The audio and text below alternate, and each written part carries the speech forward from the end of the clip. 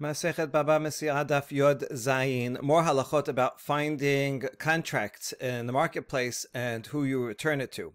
Amar Rabbi Abbahu Amar Rabbi Yochanan. Namoseh shtarcho bashuk. Afa pisha katu bo henpek lo yachaziro be'alim. In the name of Rabbi Yochanan, we learn that someone that finds a promissory note in the marketplace, even though it has a ratification by the court, one does not return it to the creditors.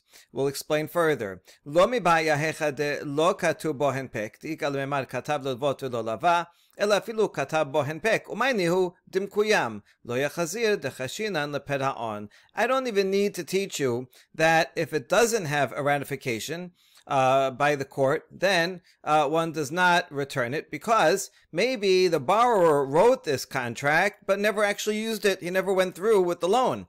And so, if he never actually borrowed the money, then certainly you can't give it to the creditor to then collect the money. That's for sure. The Yochanan is teaching us an even bigger chidush. Even if it has a henpek, what is a henpek? A ratification of uh, of the signatures. Whenever a, a, document comes to the court, a, um, a contract, they have to see are these signatures valid Let's call them in. Did you sign this document? Or if they're not around, someone that knows them, or compare their signature to something else that we know that they signed. So first we have to ratify the document, and then, then they put a stamp or they attach another paper on it that says, yes, this is ratified. Um, uh, even, even in that case, see, in that case, we know for sure that the, the, the um, loan went through um, because uh, otherwise they wouldn't be bringing it to court. So surely the borrower did, in fact, give this loan document to the court, so you don't have to worry that there was never a loan, but rather, um, still, you don't return it because maybe it was already paid back and it was the, the, the uh, creditor gave it to the borrower and the bother, borrower is the one that lost it. So therefore, we do not return it to the creditor in either case. But now we challenge this ruling of Rabbi Yochanan. Itibe Rabbi Yirmiyah Rabbi Abbahu. Kol maaseh betin hare ze yachzir. The Mishnah that we mentioned yesterday, that we're going to be analyzing further in three dapim from now, that says any court document we do return to the creditor because it's processed by the court. So that means it must be real authentic.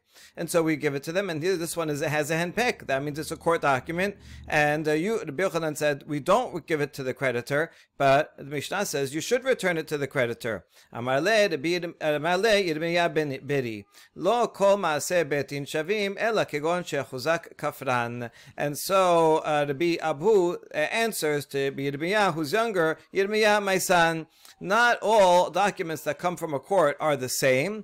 Rather, this Mishnah is when, where it says that you do return it, is talking about a case where the debtor um, was has a status, a presumptive status of being a denier, a liar.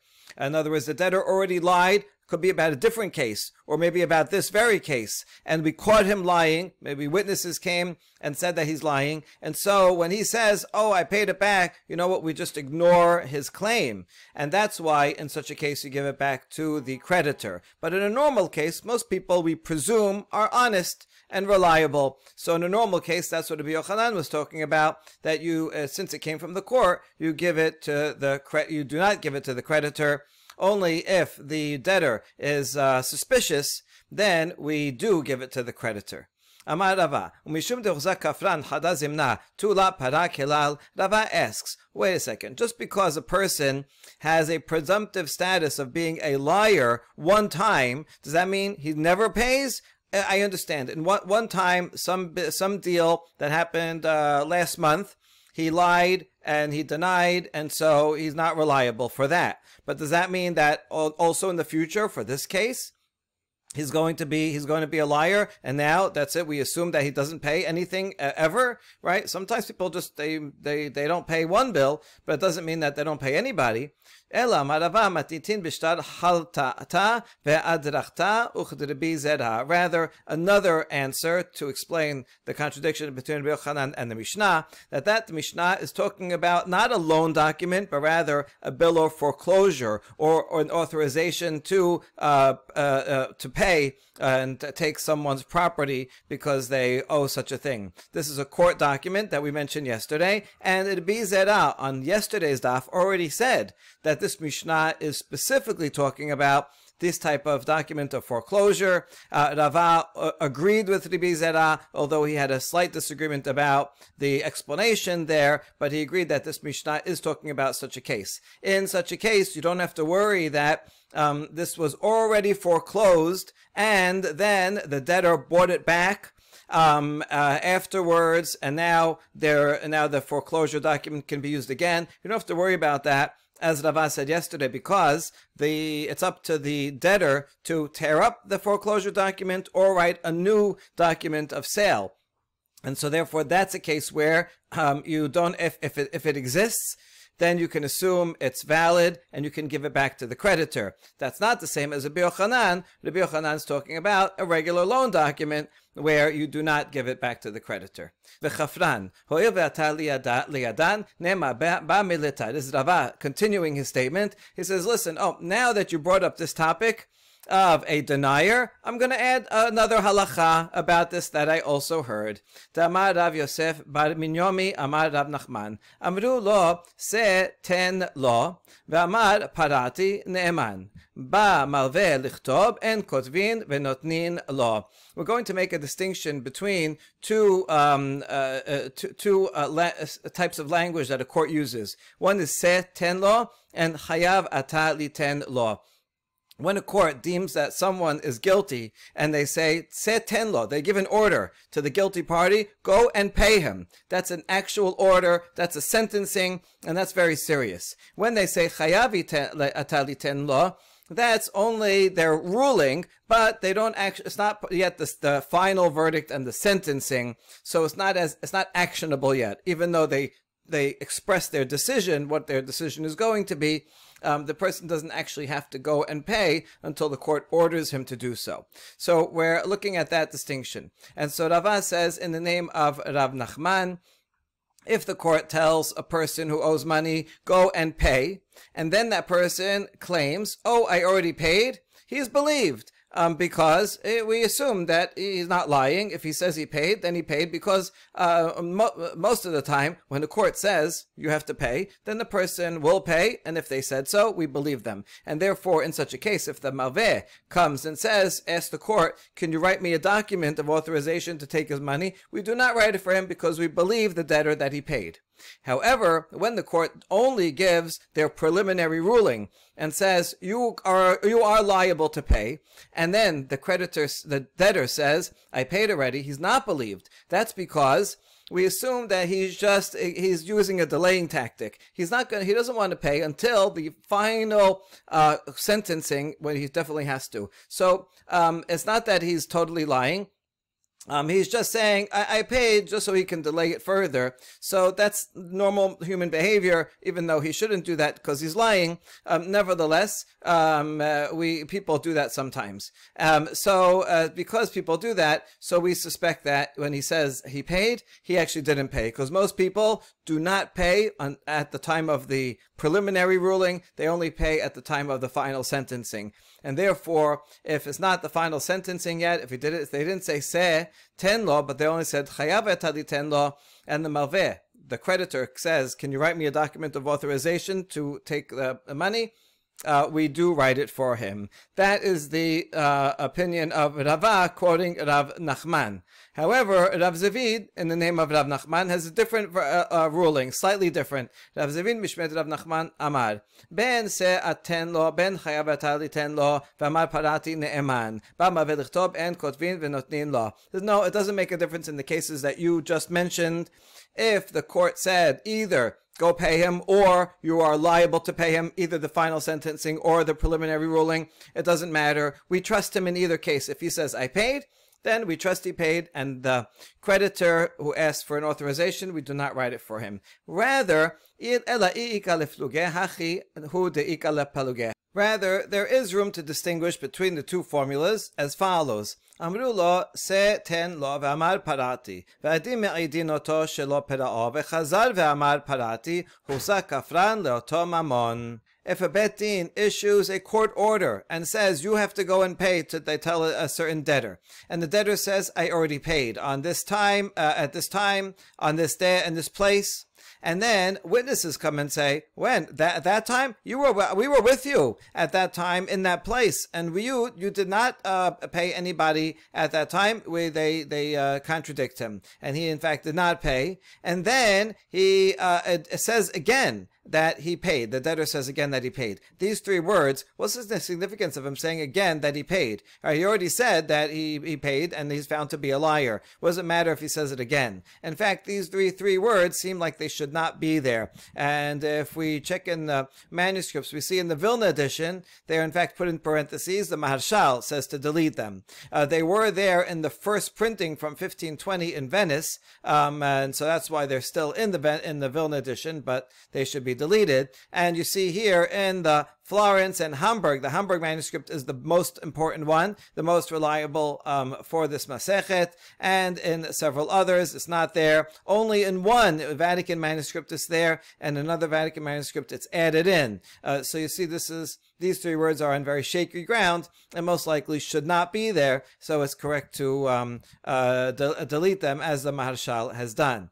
All right, so it doesn't really matter if he says again that he paid. The point is because he claimed to have paid and he is contradicted by two witnesses, so now he is assumed to be a liar for this money. He's not going to believe that whatever he says about this money, he'll have to bring now uh, next time proof that he in fact paid. However, that's different from chayava taliten lo, v'amar parati, v'edim edin oto shelo para, v'chazav amar parati, lo zakafran leoto mamon. If the court only issued a preliminary ruling and said you are guilty and have to pay, and he says, I already paid, and then there's witnesses that say, no, you did not pay. And we could skip the, the, three next three words again here. It's the same same issue as before. Um, so in that case, he is not considered to have a presumptive status of a liar regarding this case. What's the difference? My tama ishtamutehu dekam mishtamet mine sabad adem ayenu bi rabanan bedini. Because when he says I paid, we uh, we can assume that he didn't really mean to uh, reject the the claim and never pay. He was just buying time. He was just trying to evade because he said to himself, "You know what? Until the sages actually uh, give the final ruling, investigate it further, and tell me I have to uh, uh, give me an or sentencing order, then I'll pay. But in the meantime, I, I, will deny. Like uh, nowadays, when someone comes to, guilt, to court, they, says, they say not guilty. Of course, they say not guilty. Everybody says not guilty. Let the other side prove that I'm guilty, and then I'll pay. Um, so in, in, that case, uh, we don't consider. But in this case, it's not just that he's not going to pay ever. He's he's just buying time. He doesn't have the money right now. He plans very he plans to pay. If he admits it all now, then he's going to have to pay immediately. Since he doesn't have the money, so he says, "Oh, I paid already." And then he buys him some time. But he was always considered uh, considering uh, that he's going to pay, and therefore he's not considered a liar, a denier uh, for the future.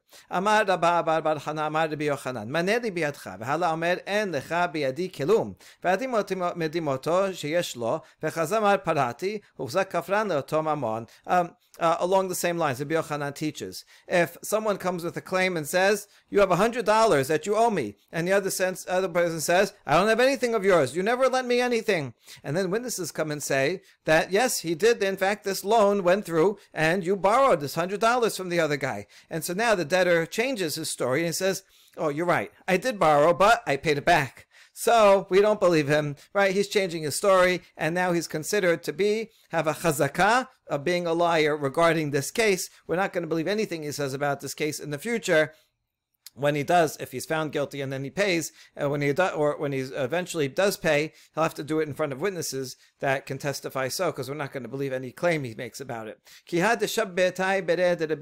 marinus katav la lekalate istela lemilita bechtuvata vekibela aleh. And we have a story about this man named Shabbatai. He's a son of a rabbi. It doesn't say he's a rabbi himself.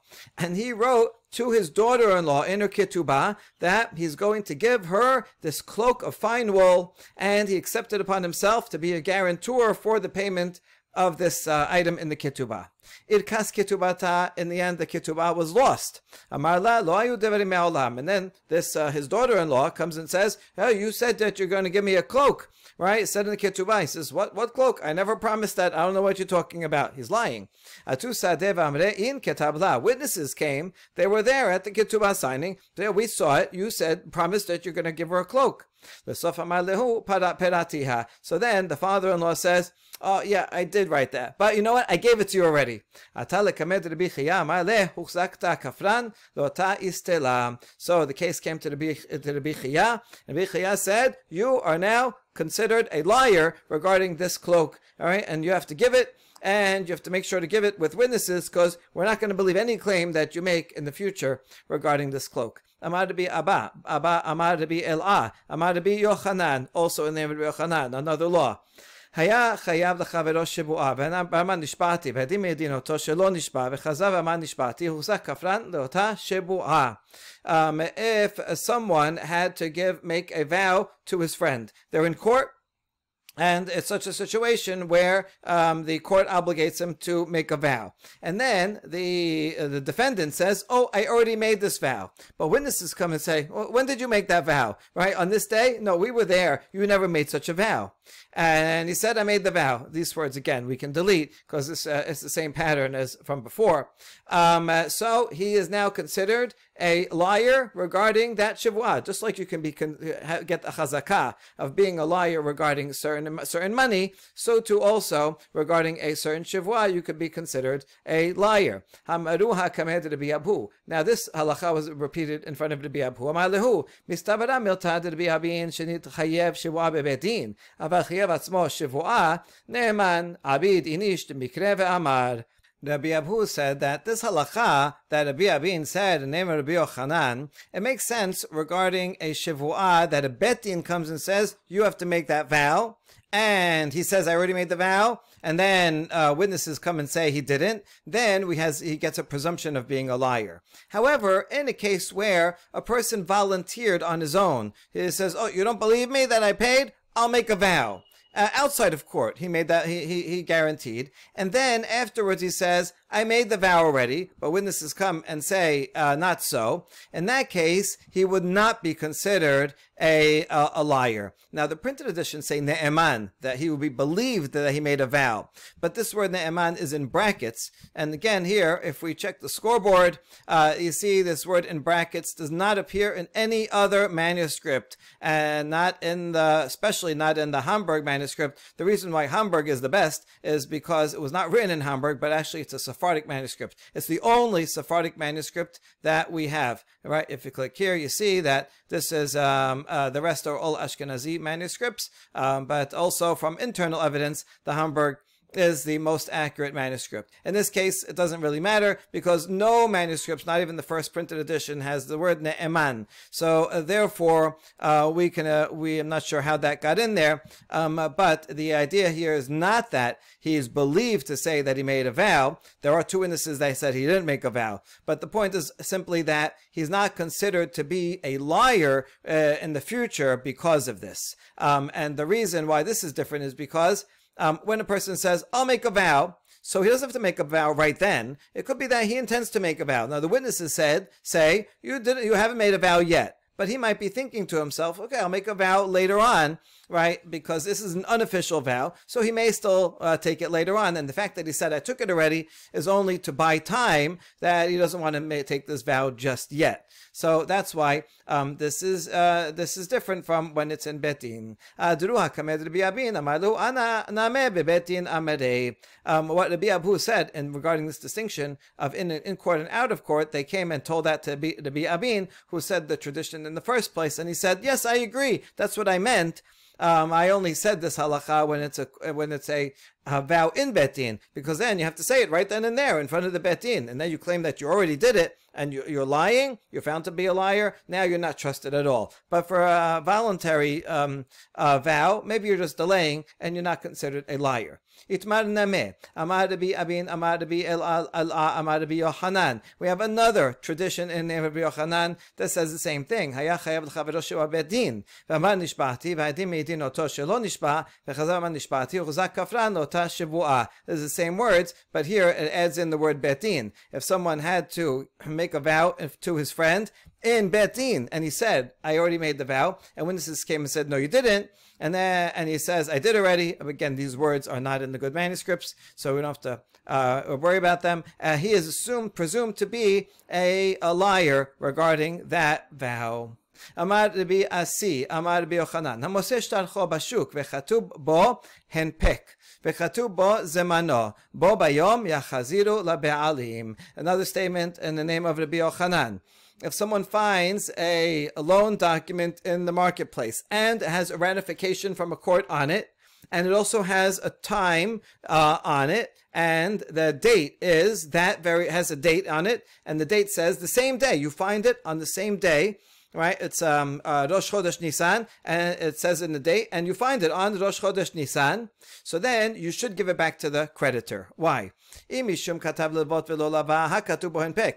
Are you going to worry that maybe the borrower wrote the document but never actually used it, never got the loan? No, it can't be because it has a ratification. That means it was given to the lender and the lender already brought it to court. If you're worried that he paid it back already, uh, the, the, the borrower paid it back. No, that's very unusual for a person to pay back a loan on the same day that he took it. Well, he borrowed $100 in the morning and then pay back already in the afternoon, a document with a loan and all, with a, do, a loan with the document and all that. That's unusual, and therefore we do not suspect that. So therefore we give it back to the creditor. And now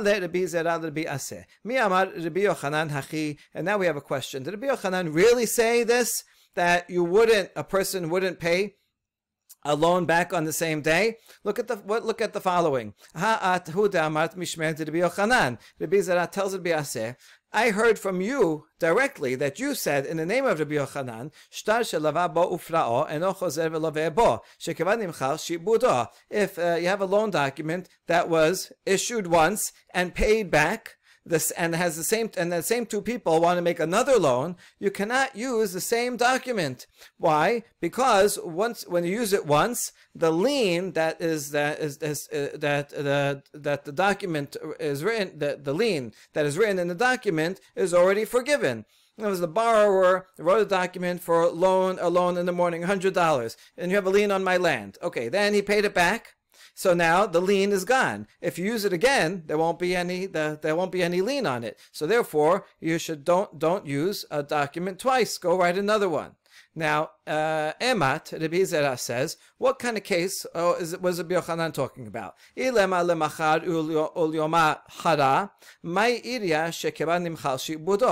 talking about a case where the first loan was on Rosh Chodesh, uh, Nisan, and then they, he wants, they want to use it again on the second day of Nisan, or the third day of Nisan, right? Yom Ached, any other day. Well then, even without the reason of that the lien was forgiven, still you wouldn't be able to use the same document.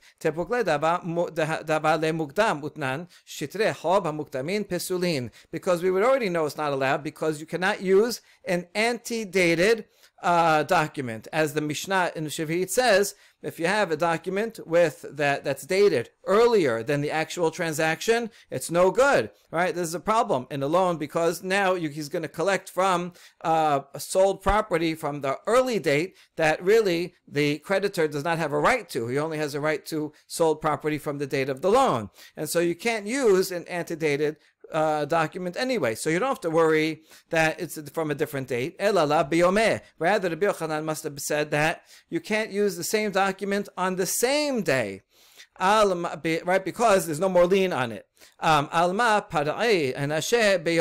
Therefore, you see that according to Yochanan, it does happen sometimes that a person pays back a loan on the very same day, right? Because uh, that's the case that he's this this halacha is about. He had a document in the morning right here, um, uh, you, I, I, borrowed from you hundred dollars. You have a lien on my land, and then Yochanan says, don't use it again, meaning don't use it on the same day. Well, you can only use it again if the first loan was repaid, and now you want to borrow again in the afternoon. So you see, according to Yochanan, um, people sometimes do pay back on the same day. Rabbi Yaseh answered, Amar le mika amina de la pare kelal de la shechiche ina she de pare biome ka amina. He says, I didn't say that no one ever pays back on the same day. It's just that it's not common for a person to pay back on the same day. Therefore, if you find a document that says on it Rosh Chodesh Nisan, and you find it on Rosh Chodesh Nisan the very same day, then you can assume that it hasn't be, been repaid yet because most of the time people don't pay, repay. Does it happen? Yeah, sometimes it happens. You just need a short-term loan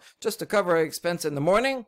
And then if that's the case and you need another loan after that, don't use the same document on the same day. Uh, don't use, don't reuse a loan document ever. Uh, Rav Kahana Amar, Keshechayav Modeh. Rav Kahana has a different explanation of the Biyochanan's ruling that if you find a document on the same day that it was written, you return it to the uh, creditor and you don't worry that it was paid back. Even though the Biyochanaan elsewhere said that people do sometimes pay back loans on the very same day. Rav Kahana explains that the Biyochanaan only issued that ruling that you give back to the creditor when the debtor admits that he owes the money, right? We find this document and we go to the debtor. What is this? Oh yeah, I owe him the money. Uh, you can give it back to him. Okay, we ask, if that's the case, then isn't that obvious, right? The creditor said he owes the money, so then obviously you're going to give it back, the debtor admitted that he owes the money, obviously you're going to give the document back to the creditor.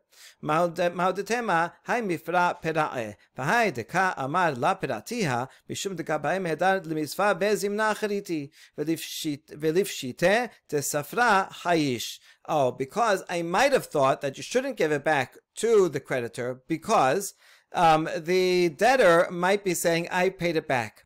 The, the debtor may, may in fact have paid it back. And the, why does he say, I didn't pay it back? Because he wants to go and, and borrow again on that very same day from the same lender.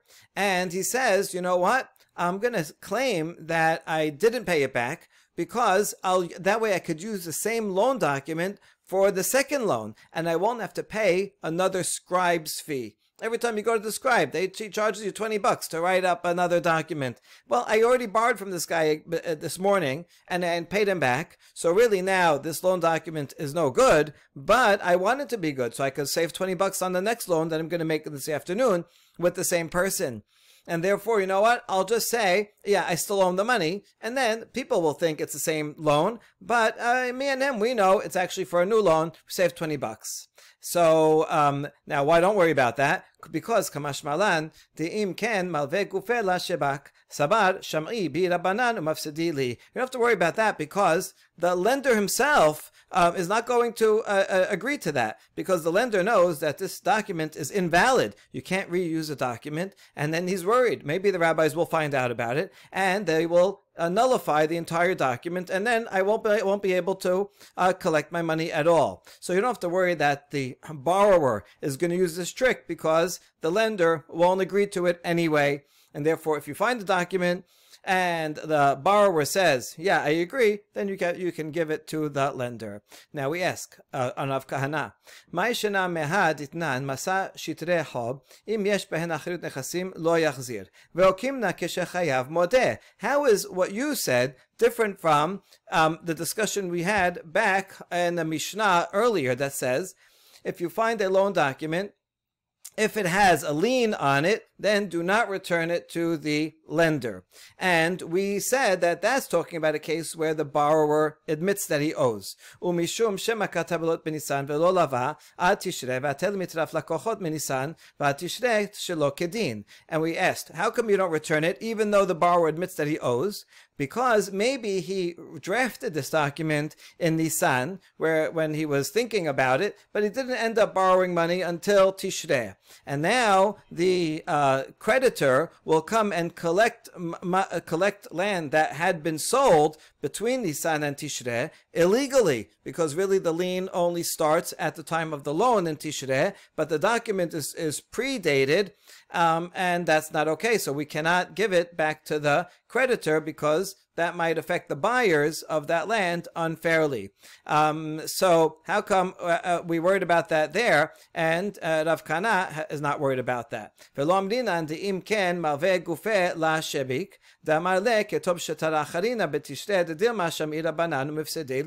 don't we apply Rav Kahana's worry also to this halacha, the, the one back on Daf Yud Bet, and we don't say, and Rav doesn't say there also that the lender would not himself not allow this because instead he would say, no, write a dune document. What is this? It says Nisan on it. That's from back then when you were thinking of borrowing. No, you better write a new one um, because if that says Tishrei on it, because otherwise the rabbis might find out about this and they will disqualify the whole loan, the whole note and I won't be able to collect. So why don't we say the same thing there? And since you don't have to worry because the lender won't allow such a thing to happen, then when you find it, you could give it back to the uh, the lender. But the Mishnah and the discussion back there, we didn't say that, Rav Kahana. And the answer is Amri, Hatam Mishum Diit Le Dekat Tarif Lakochot Minisan Menach Nichale. In that case, um, the lender has a benefit because with, with this document, even though it's false, he can use it to collect uh, um, sold property back from Nisan until Tishrei. So we know he's not going to say anything, and he'll take that risk. Uh, yeah, could be the rabbis will find out and they'll nullify it, but in the meantime, uh, maybe they won't find out, and now he gets he has more guarantee for his loan. So doesn't say anything. However, hacha here the lender has no benefit the sof sof shetarahi. It was it was written on the same day. Ma'ika de katarif lakochot. What sold property is will he be able to uh, to collect from if he uses the same document rather than uh, uh, a new one? Uh, so therefore, he's not going to uh, allow himself to accept a loan document that is already used and actually has no lien on it because the very same day so it's in the lender's interest to get a new document that will be to- totally valid, and it, he still can collect from the very same uh, property of the borrower because it's still written on the very same day. And now we have yet another law from Rabbi Yochanan, Amar Rabbi Chiya Bar Abba, Amar Rabbi Yochanan, HaTo'en Ahar Ma'aseh Bet Din Lo Amar Kelum. If a court issues a ruling and then someone says, "Oh, I paid it already," we do not believe him. Mai Ta'ama Kol Ma'aseh Bet Din Keman Denakit Shetara Bide Dameh. Any ruling of the court, any court enactment, is as if uh, they, uh, someone is holding a promissory note in his hands that you have to pay. Right? It's right there in front of you. The word, ma, the phrase maaseh betin here means something different from what we've um, been seeing above. Above, maaseh betin meant a court-ordered document. Like they say, you have a authorization to go and take that this property, um, or a document that they uh, they themselves have ratified and signed. Um, here it means something different. Here it's talking about um, something that the Bet Din in general, the rabbis made an enactment like uh, a payment of ketubah. Even if you don't actually have a ketubah, still there's a requirement of the husband to pay what's in what would be in a ketubah. So these are things that Bet Din has decided that one has to pay. And so the idea here is that um, if there is a a, um, a, requirement, a responsibility of someone to pay something that's an enactment of the betin, even if there's no actual document present, still it's as if there's a document present because the betin requires such payments. אמר לרבי חייא בר אבא לרבי יוחנן, ולא משנתנו היא זו, הוציאה גט, ואין עמו כתובה, גובה כתובתה. רבי חייא בר אבא Tells Rabbi Yochanan, why do you have to teach this halacha? Isn't it obvious from a Mishnah in Masechet Ketubot that if a woman produces a get, even though she doesn't have a ketubah, she can collect her ketubah. The fact that she was divorced is proof that she was divorced, and then any woman who's divorced uh, gets to collect a ketubah. So even if she doesn't have a physical ketubah, she gets to pay it. So you see, this is a ma'aseh betin right? The responsibilities of a husband uh, to pay ketubah uh, is a maaseh betin, and so you can you see from here that even without the document, we make her pay, we make him pay. So to Yochanan, why do you need to tell us that? We know this from the Mishnah. Amarle ilavde delay la chaspa la mishkachat marganita tutaha. Rabbi Yochanan has a fantastic line here. If not that I had picked up the shard for you, you would not find the pearl underneath. Um, in other words, you would not have realized that this Mishnah tells us this chidush. If not, that I pointed it out to you, right? A, a good teacher, you know, he puts all the facts and and and uh, and the hints and sets up all the uh, information, and then the student says, "Oh, look what I found," as if the student found it. Yeah, that's only because the teacher set everything up perfectly um, so that this would be the logical next step. So Rabbi Yochanan says, of course I had to stay, say what I did, um, otherwise you wouldn't have realized that that Mishnah is so. That Mishnah just says, okay, if there is a get, then you have to pay the ketubah. But I'm I'm showing the, a more general rule from this that any maaseh betin, anything that the rabbis require someone to pay, even without a contract, uh, present, one has to pay. Amad Abaye, mai marganita, dilma b'makom she'en kotvin ketubah skinan get, hainu ketubata, ava makom she'ketubin, she'kotvin ketubah, i nekita ketubah gabya, ila la gabya. Abaye uh, argues with this uh, uh principle, um, this so-called uh, uh, pearl. He says, what pearl is there? Um, you, you, can't derive the Rabbi Yochanan's law from the Mishnah because maybe that Mishnah is talking about a case only where the custom is not to write a ketubah. There were some places that they didn't write a ketubah. It was assumed. And therefore, if you're in a place where no ketubah is written and the woman produces a get, then that's uh, that's the that's the ketubah. That's the proof that she was divorced and she has to be paid. However, if you live in a place where it's customary to write a ketubah, then only if she actually has a ketubah she gets paid, otherwise not. And so from this Mishnah, we would not be able to derive that anytime there the rabbis require a responsibility like a husband paying uh, the paying the, the wife after the end of the marriage, um, uh, that it, it's not necessarily true from this Mishnah that um, the that that that the requirement of the betin um, uh, needs to be paid even without a ketubah, right? One cannot, in fact, learn it from this mishnah. That's what Abaye said at first. Hadad amar Abaye lav mil tahid but then he changed his mind and he said, you know what? Scratch that. Te'i salka da'atech makom she'en ketubim ketubah haskinan al makom she'ketubim ketubah i Nekita ketubah Gabia ila la gabya al mana min erusin B'May gabya.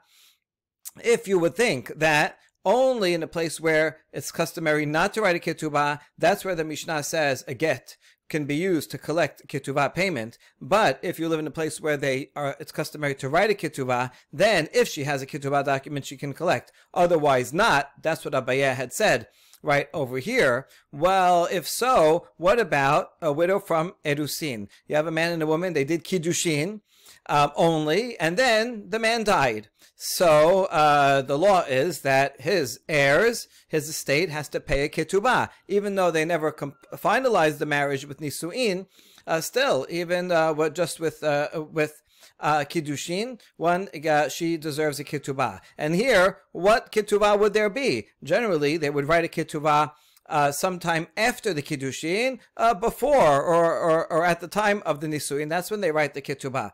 So here, this almana, she does not have a ketubah, but we know that she deserves to get paid a ketubah amount. So it must be, in fact, as was said above, that um, you can derive from this Mishnah, uh, the law of Rabbi Yochanan, that in fact, even without a physical ketubah, she, a woman can collect a ketubah, even in a place where it's normal to write a ketubah, like here, it's normal to write a ketubah, but in Almanah, she her ketubah is not written yet, and yet she does get to collect it.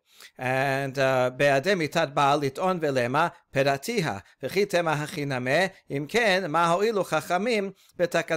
And if you say that in this case, the widow who from, from Erusin, oh, she can collect her ketubah amount based on the testimony, the witnesses that said they saw that her husband had died. And that'll be the equivalent of someone coming in with a ketubah or a divorcee coming in with a get. And so she also, in fact, has something. Here's witnesses that he died, so therefore I get a ketubah.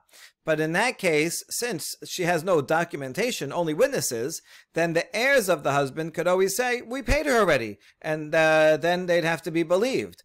Now, and if you say, yes, indeed, we believe the heirs to say that they paid, well, in that case, what benefit, what did the rabbis accomplish through their enactment? They made an enactment that um, even before uh, nisuin, even if they only have kiddushin and the husband dies, then he has to, the heirs have to pay ketubah. What good would that ordinance be if the heirs could always just claim, oh, uh, we paid it already. And she would have no recourse because the ketubah is not written yet. She doesn't have a document like a get. All she has is witnesses, but the witnesses don't know if it's paid or not. And so he just says it was paid and then she's left with, with, with nothing. So therefore, you see that it's not because we're relying on the witnesses, um, uh, or on the get, or on the ketubah, but in fact, as Rabbi Yochanan said, at the at the top of this sugya that uh, uh, someone can a woman can collect her ketubah, and in fact any case of a maaseh betin, anything that the betin that the rabbis in general have made an enactment, someone has to pay.